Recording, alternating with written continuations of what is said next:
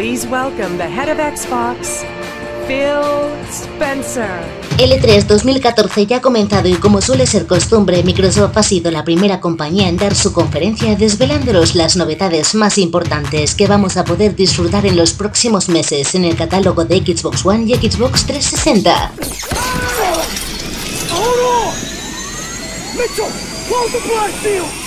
El evento empezó pisando fuerte con un espectacular gameplay de Call of Duty Advanced Warfare, el cual nos sorprendió por el alto nivel de realismo en las imágenes, en especial en lo que al modelado de los personajes se refiere, por lo que todo apunta que esta saga al fin va a ofrecernos el gran salto gráfico que muchos usuarios venían demandando. También se ha hecho patente el hecho de que se apostará por una ambientación bastante más futurista que en las pasadas ediciones, algo que queda claramente reflejado tanto en las armas como en los vehículos que veremos en el juego.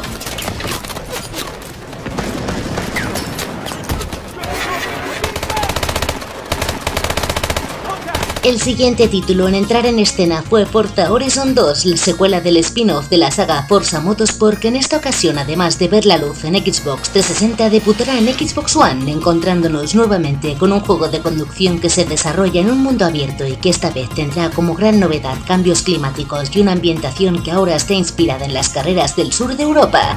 Además también se aprovechará el sistema Drive Atar que vimos en Forza Motorsport 5. Os confirmamos que el juego verá la luz el 30 de septiembre de este año.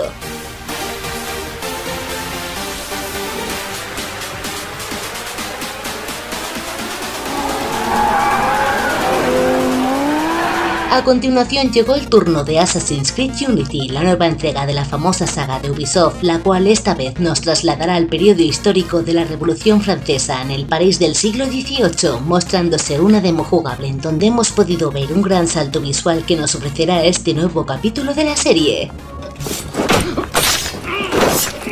Aunque sin duda la mayor novedad es que ahora la campaña se podrá jugar de forma cooperativa por hasta cuatro jugadores, quienes tendrán que coordinarse para poder llevar a cabo los asesinatos, pudiendo también crear nuestra propia hermandad junto a otros usuarios. El juego se lanzará este mismo año y además de en Xbox One también llegará a PC y PlayStation 4.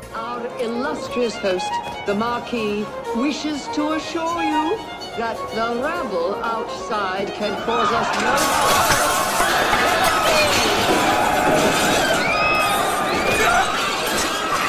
Seguidamente, tras mostrarse un tráiler de los juegos Evolve y Dragon Age Inquisition hizo su aparición lo nuevo de Insomnia Games, Sunset Overdrive, un juego de acción y disparos en tercera persona en mundo abierto con una puesta en escena y un planteamiento bastante gamberro, confirmándose que el juego también incluirá un modo multijugador cooperativo para hasta 8 jugadores llamados Chaos Squad.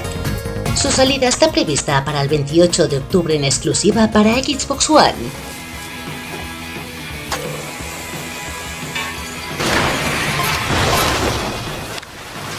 Llegados a este punto del evento nos llamó la atención el anuncio de un nuevo DLC para Dead Racing 3 que llega con el singular nombre de Super Ultra Dead Racing 3 Arcade Remix Hyper Edition X Plus Alpha. Se trata de un modo cooperativo para hasta 4 jugadores en el que podremos jugar disfrazados de famosos personajes de Capcom como por ejemplo Regina de Dino Crisis, Sagar de Final Fight o Ryu y Chun-Li de Street Fighter por citar algunos.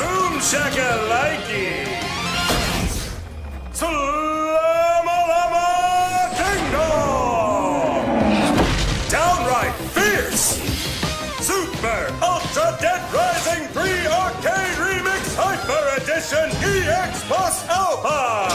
El acto continuó con el anuncio de Fable Legends, la nueva entrega de la saga que en esta ocasión parece reinventarse a sí misma tratándose de un RPG de acción que se jugará de forma cooperativa por hasta cuatro usuarios, aunque además un quinto jugador encarnará al villano pudiendo en este caso observar toda la acción desde una vista aérea con el cometido de colocar trampas y esbirros en tiempo real para tratar de detener el avance de los héroes, lo que promete convertir al juego en una experiencia muy divertida en donde la acción y la estrategia se darán cita a partes iguales.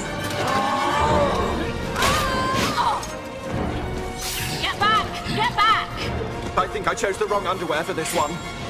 Y por supuesto, en una conferencia de Microsoft no podía faltar el jefe maestro y lo hizo con The Master Chief Collection, un recopilatorio que verá la luz en Xbox One en el que se incluirá la saga principal de Halo al completo, es decir, Halo Combat Evolve, Halo 2 Anniversary, Halo 3 y Halo 4, contando todos ellos con un renovado apartado visual más acorde a los tiempos actuales, aunque los juegos también tendrán la opción de jugarse con los gráficos de antaño, siendo posible intercambiar entre ambos estilos con tan solo pulsar un botón. Oh, Además también se incluirán los modos multijugador originales con todos los mapas que se han lanzado hasta ahora en la saga, estando prevista su salida para el 11 de noviembre, con el incentivo extra de que quienes lo adquieran tendrán acceso a la beta multijugador del próximo Halo 5 Guardians.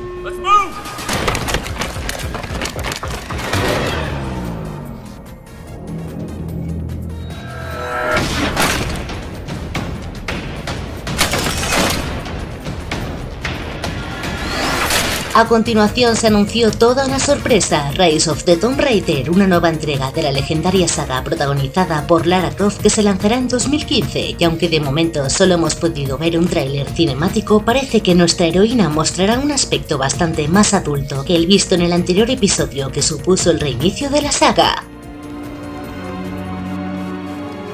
Miss Croft. We become who we're meant to be.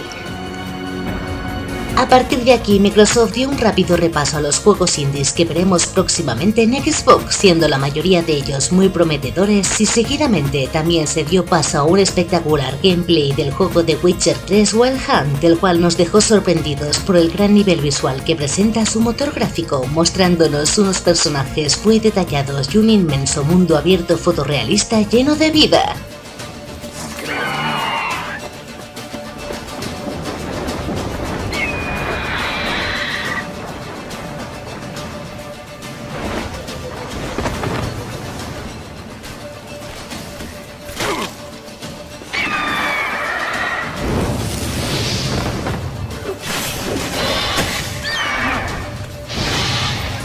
Asimismo, otro gameplay que nos gustó mucho fue el de Tom Clancy's Division, un juego que ha seguido mejorando aún más gráficamente respecto a la demo vista el pasado año, el cual, como ya muchos sabréis, es definido por sus creadores como un shooter táctico en tercera persona en un mundo abierto multijugador online masivo.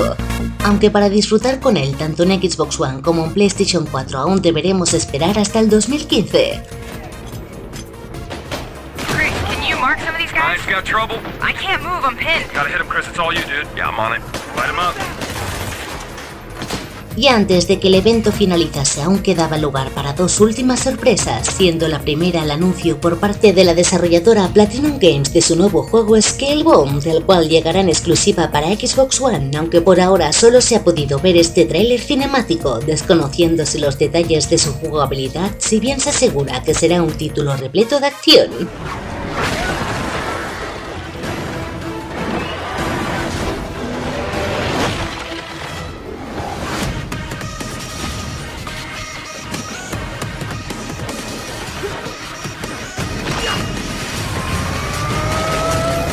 Por su parte, Microsoft anunció el debut de la saga Crackdown en Xbox One con una nueva entrega que promete llevar la franquicia a un nuevo nivel, aunque igualmente de momento nos tuvimos que conformar con un tráiler cinemático que no nos revelaba demasiados datos del juego.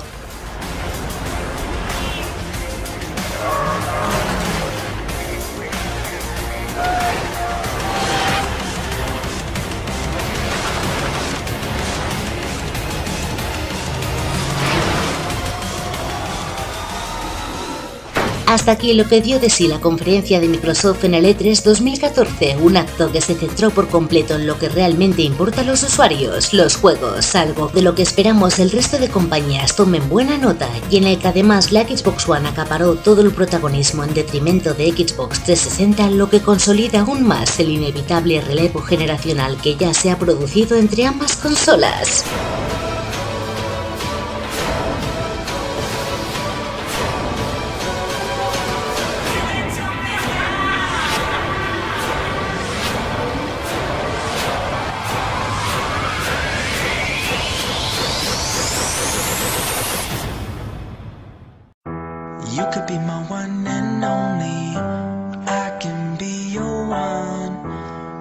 Let's take it slowly. I'll show you how it's done. I ain't never seen your type before. How'd you end up with a guy like that? Spread your wings and I'll make you swing. Take my hand, girl, don't look back.